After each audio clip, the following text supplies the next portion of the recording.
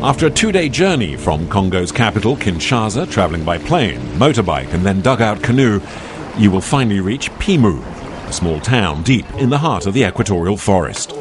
Families and the surrounding villages live by hunting, fishing, and agriculture. Generations have practiced slash and burn farming.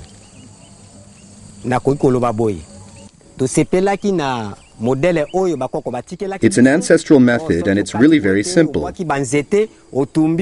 You cut down the trees and burn them. Then you plant your seed and wait for the harvest.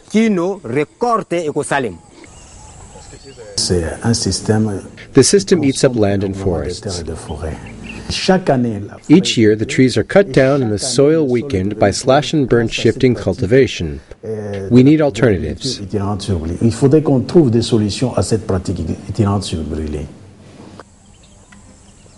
Slash and burn farming is used by millions of people worldwide.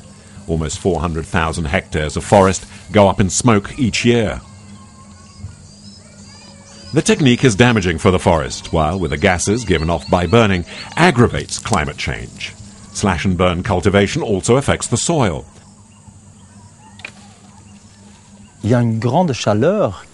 The heat given off scorches the soil.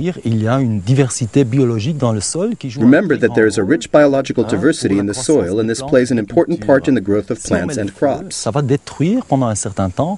If you make a fire, all these colonies of tiny animals and bacteria are destroyed for a while, and that affects crop yields.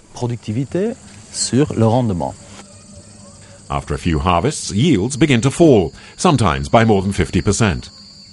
The farmer then has to move on, often many kilometers from home, to cut and clear new areas of land.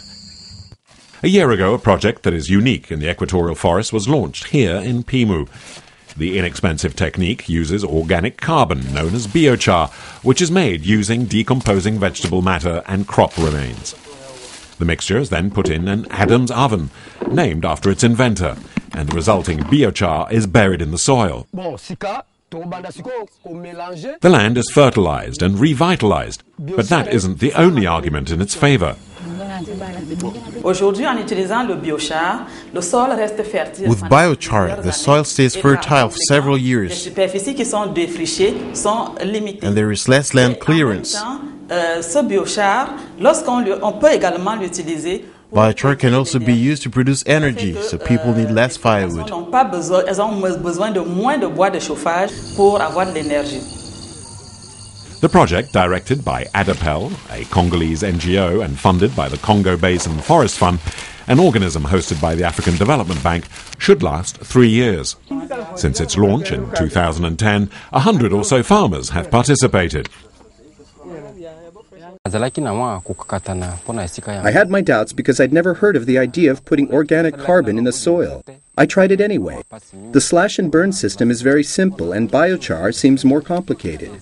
In the first year, you have to pull everything up by hand, but in the end, you realize that you can keep working the same field year after year, while other farmers have to move on to clear new fields. It's too early for the project's teams to be able to provide clear data, showing a significant increase in yield. However, the farmers themselves say they have noticed the difference. The biochar technique also means access to carbon exchange markets. Decomposing vegetable matter ejects CO2 into the atmosphere. Biochar converts it into carbon that it traps in the soil, thereby reducing greenhouse gas emissions. The quantity of carbon that is being captured can then be sold on international markets, providing the community with extra revenue. Il faut savoir que le marché est there is a genuine market out there. A ton of CO2 is merchandise with its own price. At the moment, it is worth about 20 euros, but the rate fluctuates. It's like oil prices. Getting into the market is an expensive business. It can cost as much as 200,000 euros. There are the voluntary markets, which are more accessible, but small projects are often penalized. We intend to fight for our project on the market and keep our costs down because it is important that the money benefits the poorest farmers around here. Until the project is widely adopted, hectares of forest will keep going up in smoke, and food security for farmers will remain unpredictable. The stakes are high, but if the biochar project proves financially viable, it could soon be applied to the entire rainforest and even the continent.